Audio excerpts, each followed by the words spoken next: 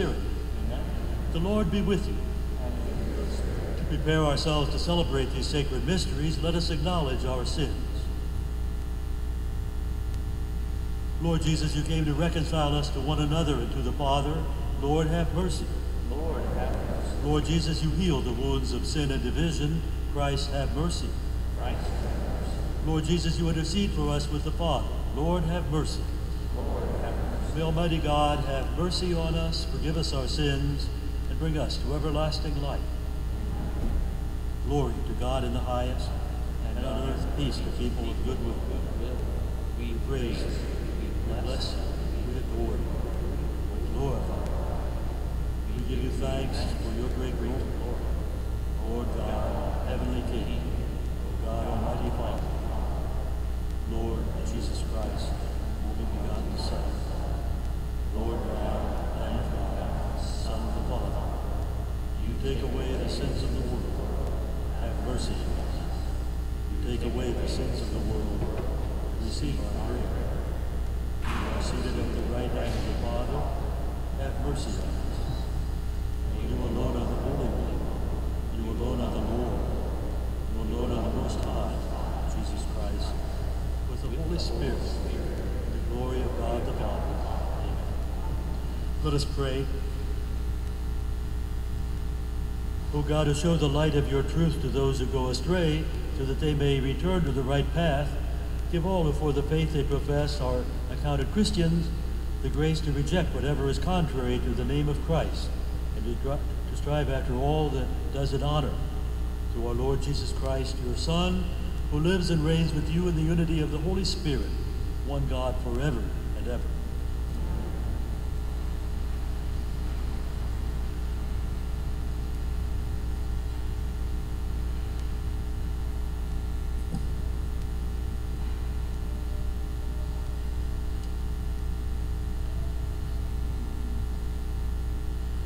Reading from the book of the prophet Isaiah.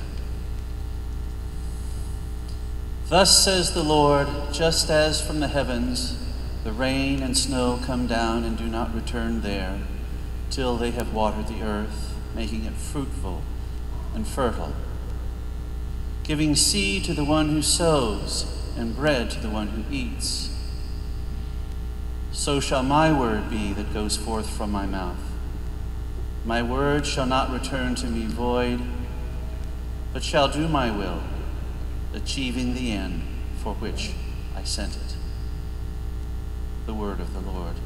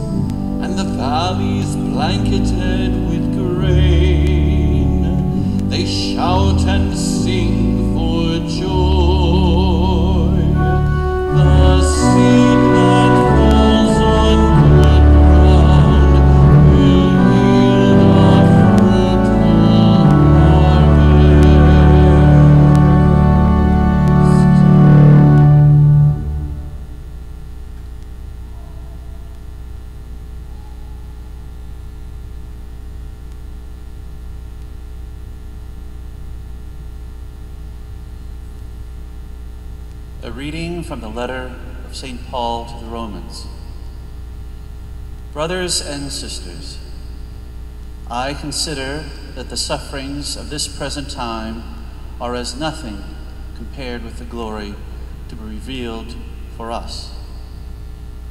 For creation awaits with eager expectation the revelation of the children of God. For creation was made subject to futility not of its own accord, but because of the one who subjected it, in hope that creation itself would be set free from slavery to corruption and share in the glorious freedom of the children of God. We know that all creation is groaning in labor pains even until now. And not only that, but we ourselves, who have the first fruits of the Spirit, but also groan within ourselves as we wait for adoption, the redemption of our bodies. The word of the Lord.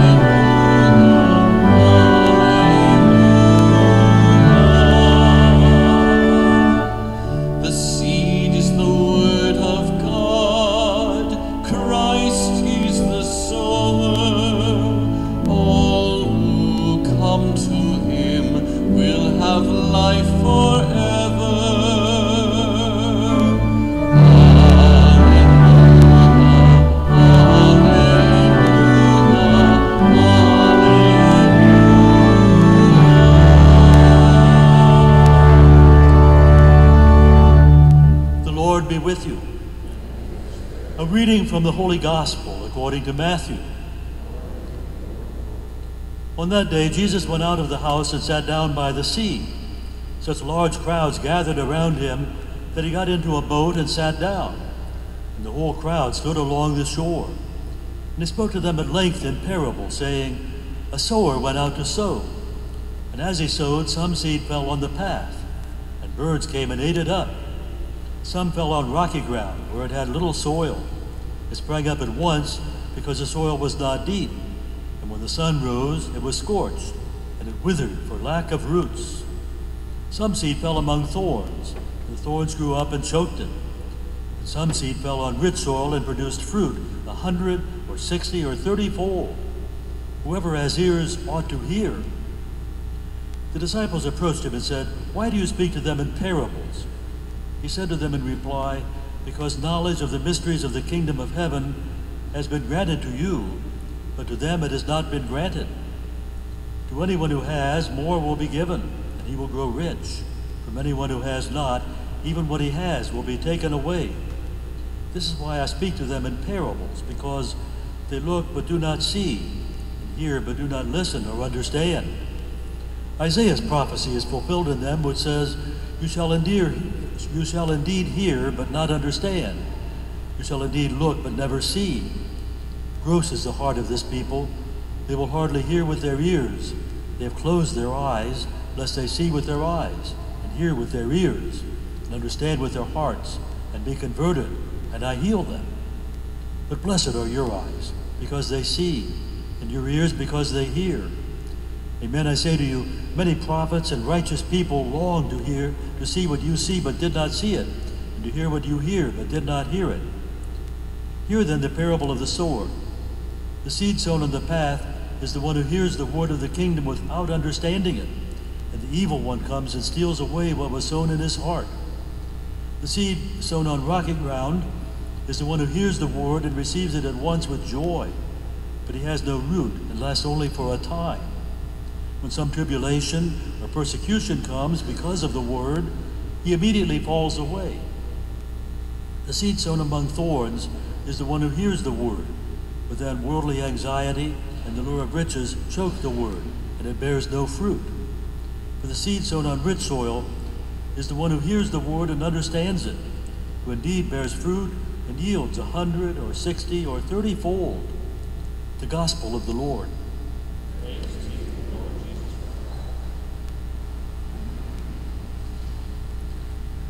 Christ. The name of the Father, and of the Son, and of the Holy Spirit. My dear friends, there are very many bad things happening in our country and in our world today. The coronavirus, race riots, deep political and cultural division, and the list goes on and on.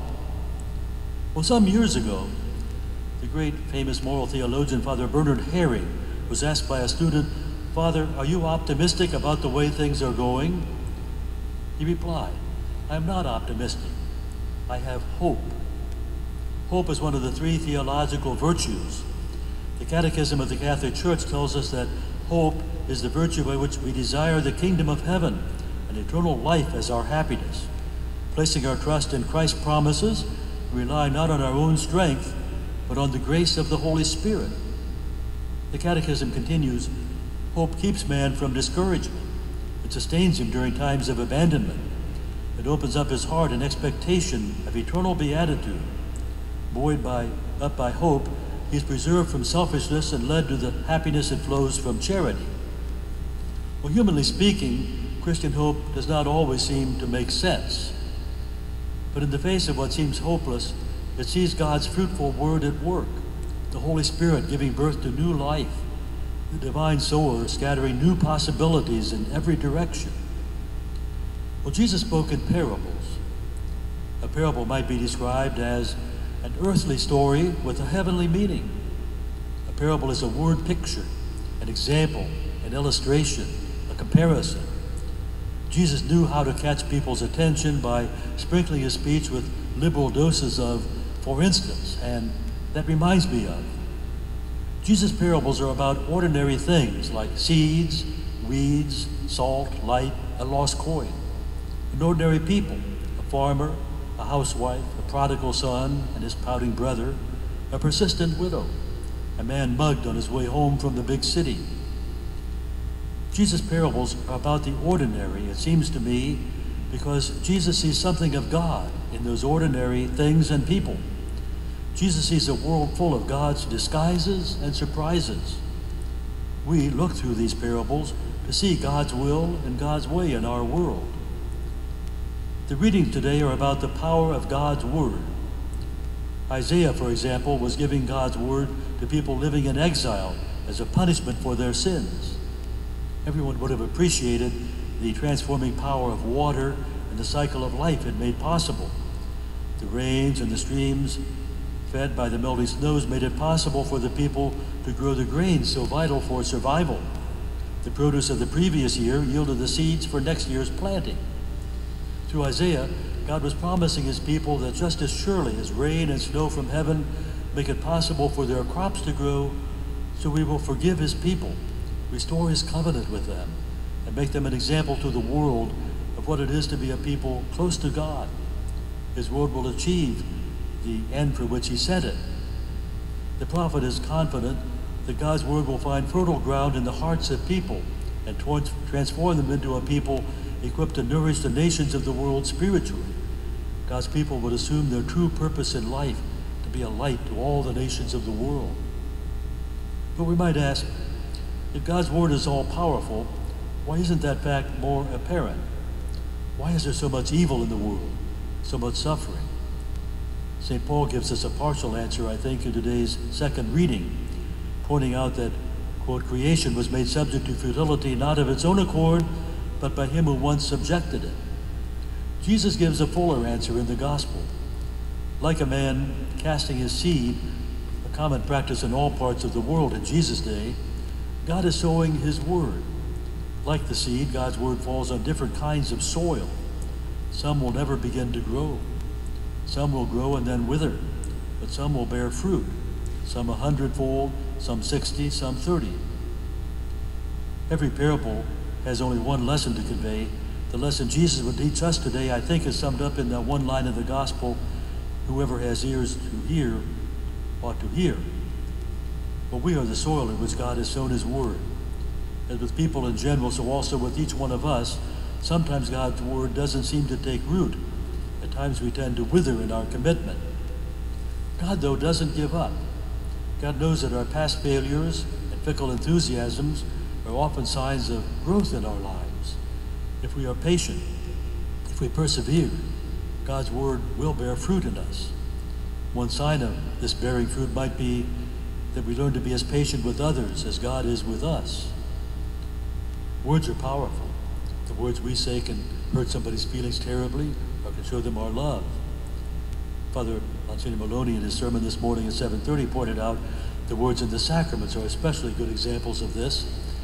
As we say, I baptize you, receive the Holy Spirit, and uh, be anointed with the Spirit of God, and so forth. I, I absolve you. And uh, the rest of those sacraments are the same. The words of the sacrament are very effective. They bring about what they say. Do you remember the act of hope of catechism class? Maybe you haven't thought about it for a long time, but let me read it for you.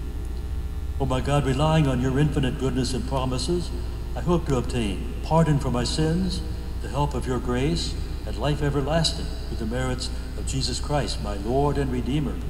Amen.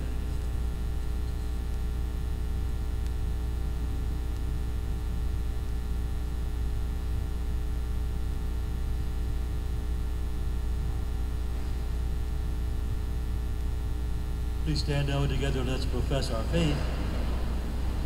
I believe in one God, the Father Almighty, maker of heaven and earth, all things visible and invisible.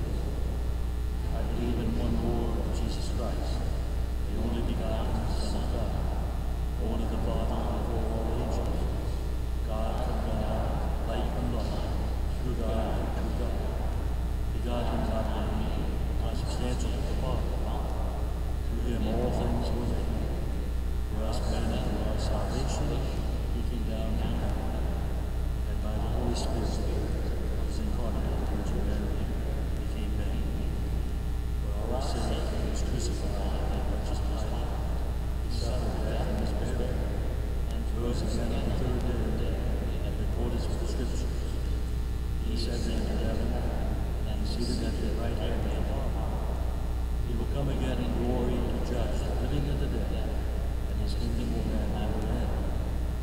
I believe in the Holy Spirit, the Lord, the giver of life, who proceeds from the Father and the Son, who with the Father and the Son is the Lord and Lord, who has spoken to the prophets. I believe in one holy Catholic apostolic church, and confess in baptism the forgiveness of sins, I look forward to the resurrection of the dead. and life of the world to come. Amen. Let us pray. Christ teaches us through parables. Christ is the sower of the seed of God's word. Let us respond to his work by praying to the Father. that the church and the world today may be like the rich soil, yielding a harvest of a hundredfold. We pray to the Lord. Lord, hear our prayer. That the leaders of our nation will govern in a way which is accountable to God and to us. We pray to the Lord. Lord, hear our prayer. That the people who have problems of doubt or suffering may receive the word of God and be converted. We pray to the Lord. Lord, hear our prayer. that those who are facing death may know true faith and inner peace. We pray to the Lord. Lord, hear our prayer. That those who have gone before us in faith will come to Christ and live forever. Let us also remember Dwayne Palmo, for whom this Mass is offered. We pray to the Lord. Lord, hear our prayer. Father in heaven, your graces always achieve their purposes. As we make these requests in prayer, teach us to value your blessings. We ask this through Christ our Lord.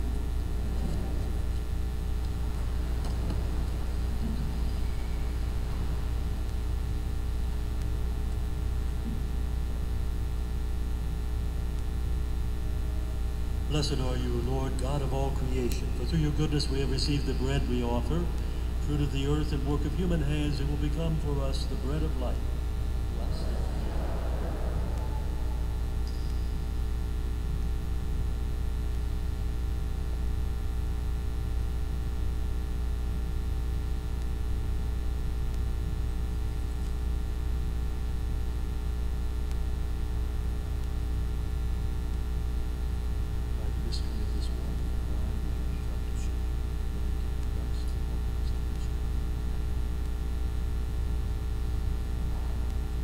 Blessed are you, Lord God of all creation, for through your goodness we have received the wine we offer, fruit of the vine and work of human hands, it will become our spiritual drink.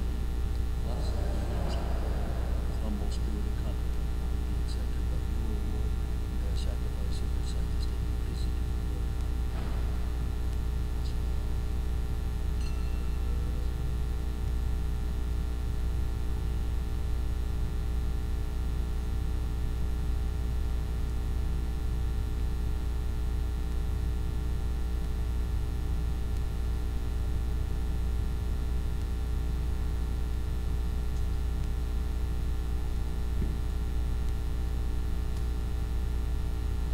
Pray, my brothers and sisters, that my sacrifice and yours will be acceptable to God, the Almighty Father.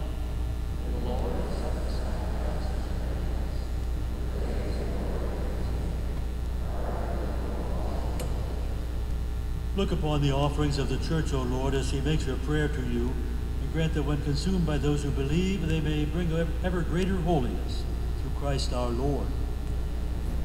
The Lord be with you. Lift up your hearts. Let us give thanks to the Lord our God. It is truly right and just, our duty and our salvation, always and everywhere to give you thanks, Lord, Holy Father, Almighty and eternal God, through Christ our Lord. For out of the compassion for this waywardness of ours, he humbled himself and was born of the Virgin. By the passion of the cross, he freed us from unending death, and by rising from the dead, he gave us life eternal. And so with angels and archangels, thrones and dominions, with all the hosts and powers of heaven, we sing the hymn of your glory, and without end we acclaim.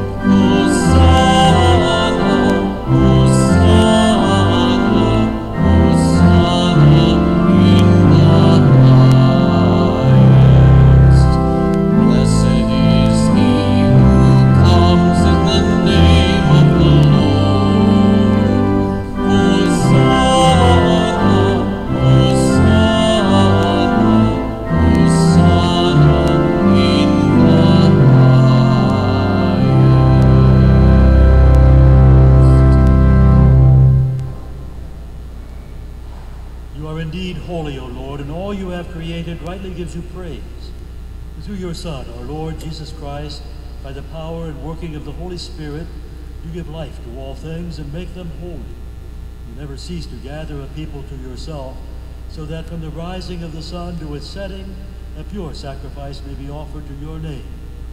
Therefore, O Lord, we humbly implore you, by the same Spirit, graciously make holy these gifts we have brought to you for consecration, that they may become the body and blood of your Son, our Lord Jesus Christ, whose command we celebrate these mysteries. For the night he was betrayed, he himself took bread, and giving thanks, he said the blessing, broke the bread, and gave it to his disciples, saying, Take this, all of you, and eat of it, for this is my body, which will be given up for you.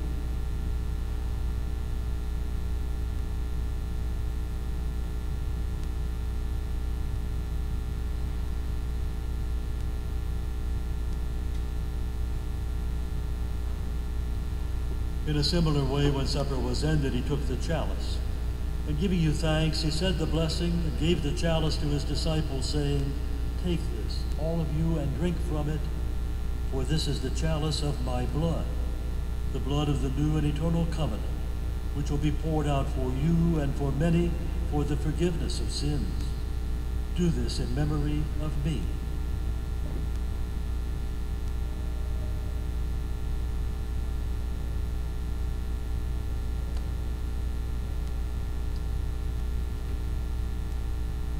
The mystery of faith.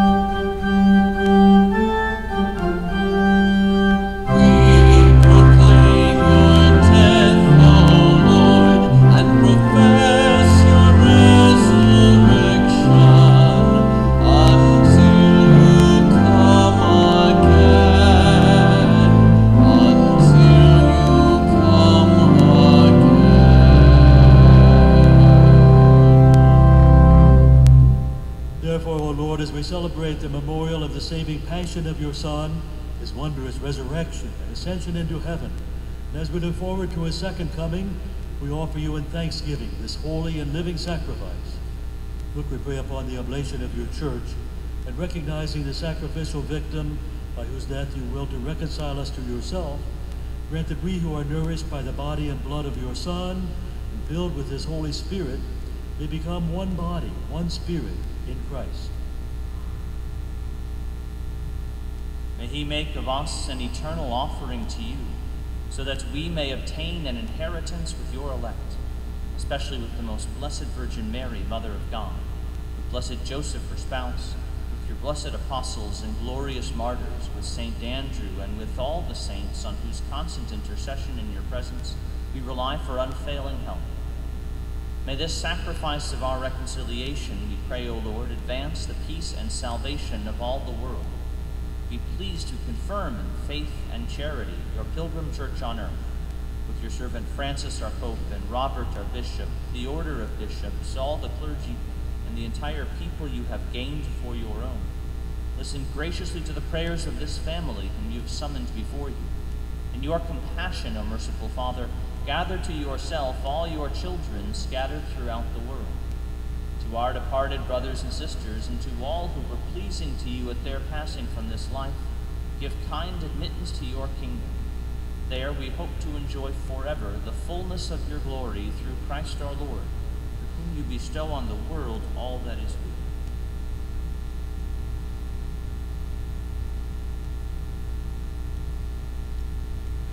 Through him and with him and in him, O God Almighty Father, in the unity of the Holy Spirit, all glory and honor is yours forever and ever.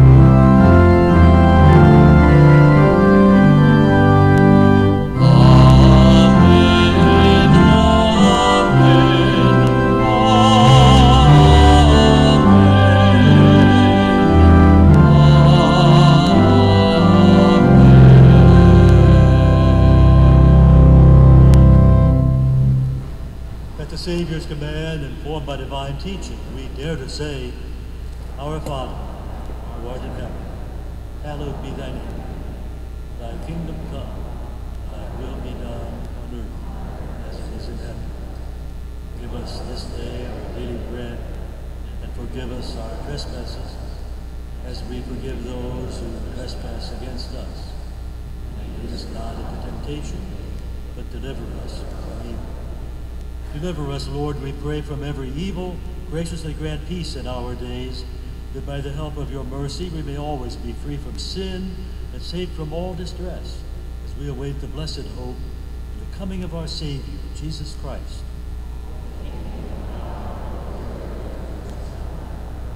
Lord Jesus Christ, who said to your apostles, Peace I leave you, my peace I give you, look not on our sins, but on the faith of your church and graciously grant her peace and unity in accordance with your will, who live and reign forever and ever. The peace of the Lord be with you always.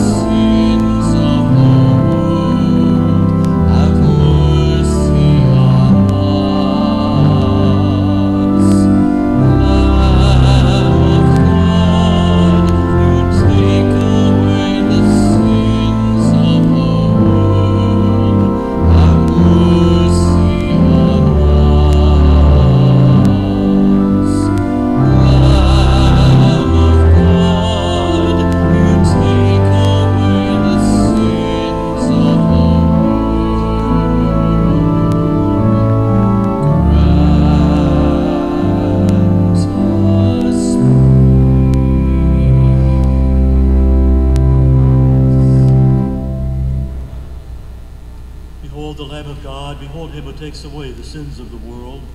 Blessed are those called to the supper of the Lamb. Lord,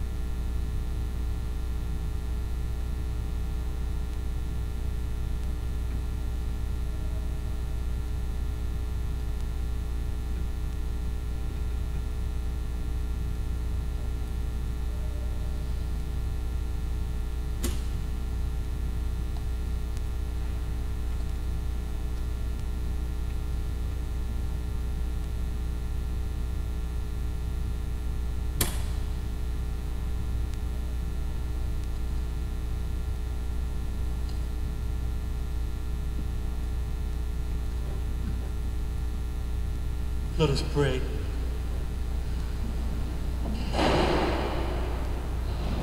Having consumed these gifts, we pray, O Lord, that by our participation in this mystery, the saving effects upon us may grow through Christ our Lord. Amen. Now please be seated. Father Lehi would like to speak to us.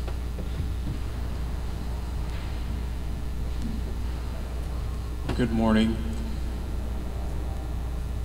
I've already mentioned this to some of the people at uh, daily mass, but given all this coronavirus stuff, some people are there, some people aren't for the weekend. I want to say one last time to all of you, thank you. Thank you for being supportive of me. I've been grateful to have been assigned here at St. Andrew these past two years. Too short a time, in my opinion. I'm thankful for the opportunity to have gotten to know many of you or be involved in your life some degree or other.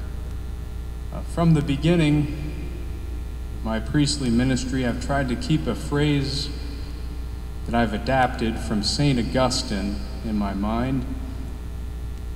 It's, For you I am a priest, but with you I am a Christian. The former is a duty, the latter a grace. The former is a danger, the latter salvation. Hope that I've done good and contributed to the well being of St. Andrew Parish. But I do ask for your forgiveness for any mistakes on my part or any failures. You've always been very kind and generous towards me. I know this is a small world, so it would be great to see many of you at some point in the future. I don't know if I'll ever be assigned here again. Yet at the same time, I realize that some of us may never cross paths again this side of eternity. And so, I wish you all the very best on this pilgrimage in life. Hope to meet you again in the fulfillment of God's kingdom. And may God bless all of you for your generosity. Thank you.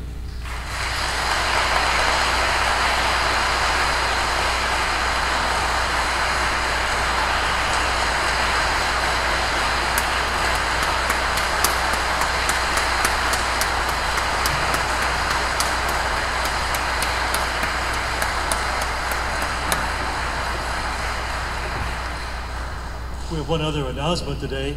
This weekend we begin the 2020 Bishop's Annual Appeal.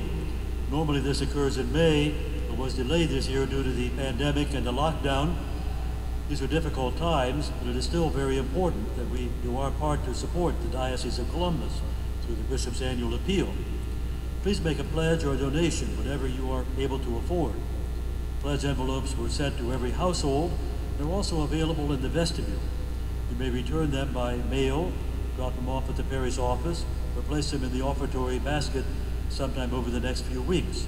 Thank you for your generous response to the Bishop's Annual Appeal.